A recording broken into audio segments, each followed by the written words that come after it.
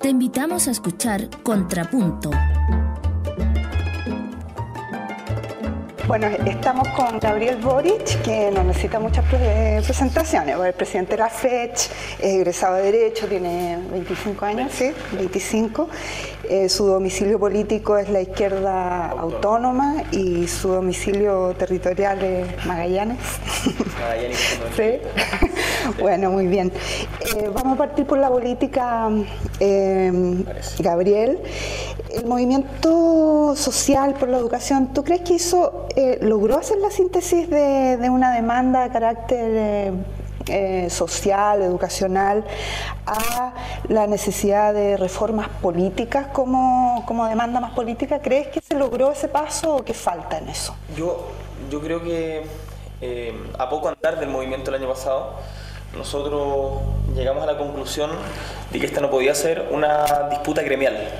Acá no se puede, ya llegamos a la conclusión de que esto no es una pelea solamente por la calidad de la educación en Chile, sino que tiene más que ver con el carácter de la democracia que tenemos y de la democracia que queremos. Por lo tanto, lo que estamos trabajando ahora, en este como periodo entre comillas de receso, es en eh, fortalecer lazos con otros actores sociales porque entendemos de que solos como estudiantes no podemos. Esto no es una demanda corporativa, sino que es política y por lo tanto los objetivos tienen que ser políticos. Acá no se trata solamente de meterle más luz al sistema educacional. Eh, y el año pasado nos encontramos con una traba muy grande que es que la institucionalidad en Chile está diseñada para excluir a el ciudadano común y corriente de las decisiones eh, y que finalmente las terminan tomando solo las élites. Entonces, hacia allá queremos enfocar un poco el, discurso ahora, sin dejar de lado las demandas eh, educacionales, porque entendemos que el gobierno no ha dado respuesta a prácticamente ninguno de los temas que pusimos sobre la mesa.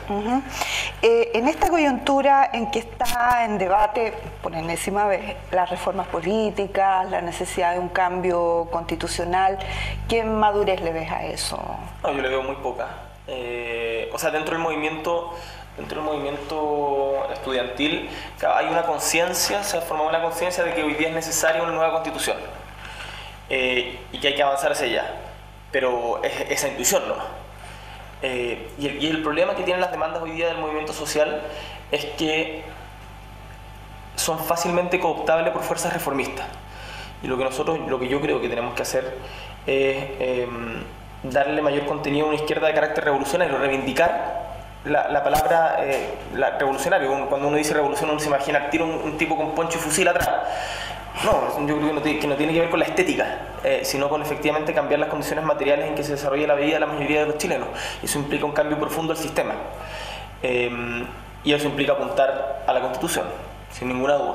Pero eso son, nosotros sabemos que son procesos largos, lo decía el Pancho Figueroa el año pasado, vicepresidente de la FECH, que nosotros llegamos para quedarnos. Esto no, es una pataleta nomás que le estamos pidiendo al Estado que resuelva los problemas, no, nosotros queremos hacernos parte de las soluciones también. Y en esta coyuntura, ¿cómo se para el movimiento estudiantil? A ver, hoy, día, por ejemplo, que se levanta la agenda de las reformas políticas, que se baja, que, hay un, eh, al parecer, eh, votos suficientes como para hacer, por ejemplo, algunos cambios. ¿Ustedes se ven como un actor ahí o quieren tomar una distancia? No, no, nosotros no queremos tomar distancia. Nosotros estamos en un debate muy, muy interesante y que no es pacífico dentro del movimiento estudiantil respecto de cuál va a ser la relación que tengamos con la institucionalidad. Porque hay quienes postulan que eh, no hay que tener ningún tipo de relación. No hay que, o sea, que hay que hacer un camino propio. No, hay que ir al Parlamento. Yo, yo, por otro lado, con otros compañeros creemos que eh, uno no puede ser tan ingenuo de pensar de que porque uno cierre los ojos el Parlamento deja de existir, digamos en esos espacios institucionales, tradicionales de poder, se están tomando decisiones. Nosotros tenemos que tener un ojo puesto ahí, pero los dos pies en la construcción de poder popular, que es un proceso de largo plazo.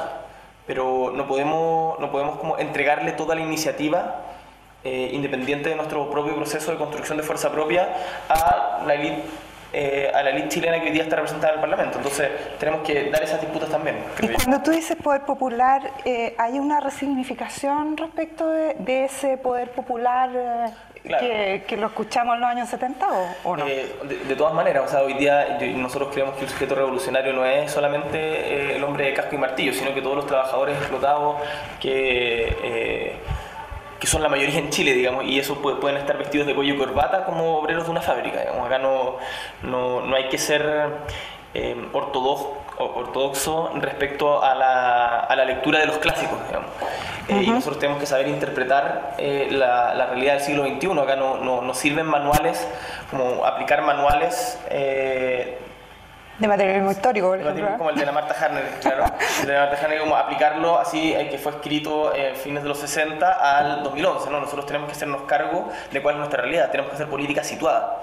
Porque si no, eh, mejor dediquemos a tener un club de amigos y, y tomar tecito los, Oye, Gabriel, bueno, pero ustedes como Confech partieron, o sea, dieron un puntapié inicial bien político, le dieron la renuncia a Heinz Peter. ¿Hay espalda social para eso dentro del movimiento por la educación? ¿Qué, qué, es lo que crees yo fui de los que me opuse a, la petición de renuncia dentro del Confech, a Peter.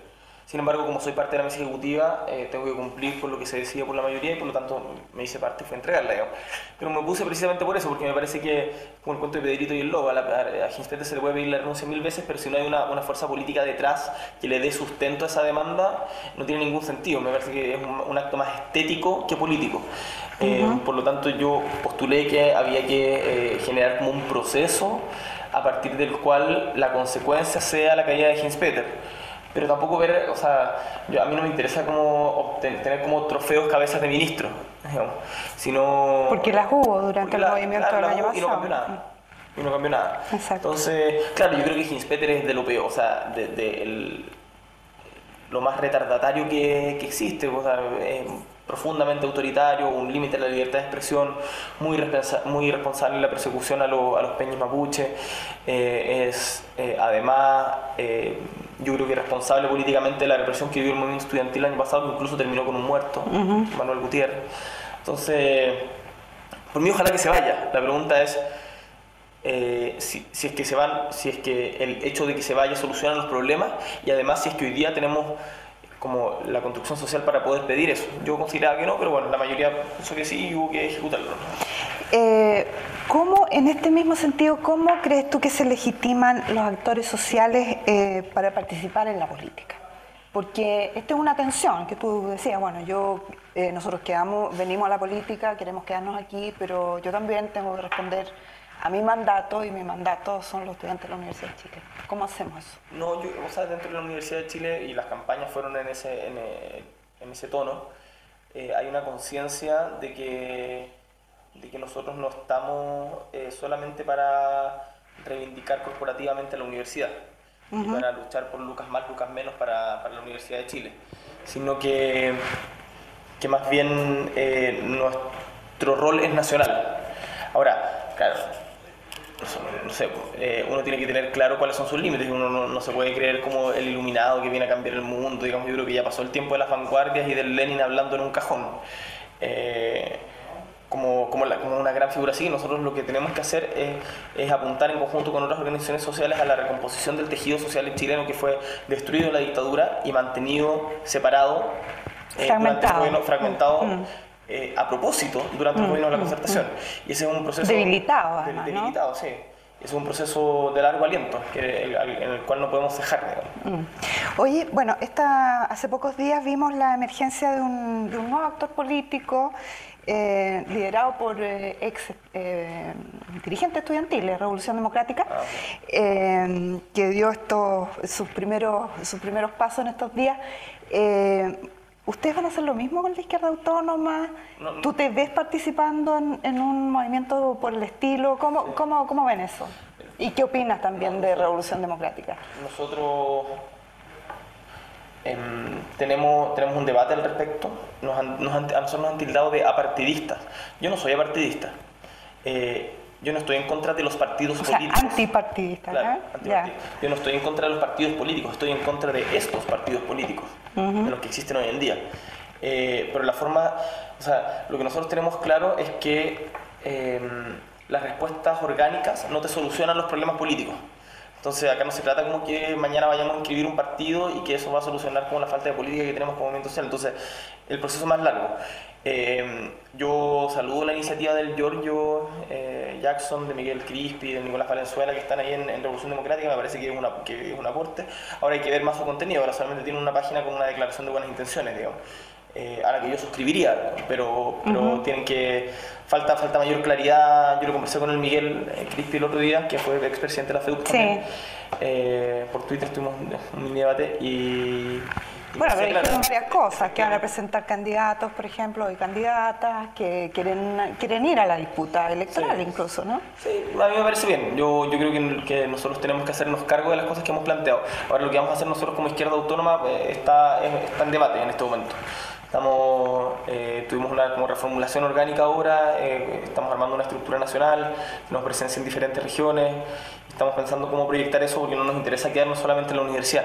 A mí me costó mucho entender cuando era, cuando era más chico, cuando alguien decía la revolución no pasa por la universidad y yo decía, yo, mira, yo miraba al colegio y decía, pero si en la universidad están todos los revolucionarios, ¿por qué no va a pasar por ahí? Y, claro, de ahí leyendo entendí que, claro, que en el fondo los sectores productivos son la clave. Y viviendo también, ¿no? leyendo y viviendo. Bueno, vamos a, lo, a, lo, a la política educacional. Eh, ustedes estuvieron en el Parlamento, en el Senado esta semana, ¿no? Eh, ¿Cuál es la opinión de la FECH, de la CONFECH tuya también, sobre este mm, proyecto que se aprobó recién de prohibición del lucro? ¿Es, es más de lo que había? ¿Es menos? Eh, ¿Tiene muchos forados? ¿Cómo lo ven?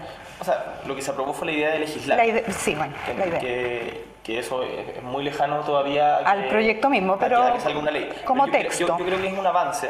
¿Ya? y lo que se prohíbe no es el lucro. No, no, como, nosotros estamos en contra del lucro en la educación eh, de cualquier nivel. Acá lo que se prohíbe es el lucro con recursos públicos. Eh, con esa acotación. Con, el lucro con recursos del Estado eh, en todos los niveles educacionales. Yo creo que sin duda es un avance.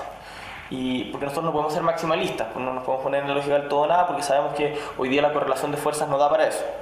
Eh, y el hecho de que gente como Lili Pérez o Antonio Horvat, eh, Bianchi.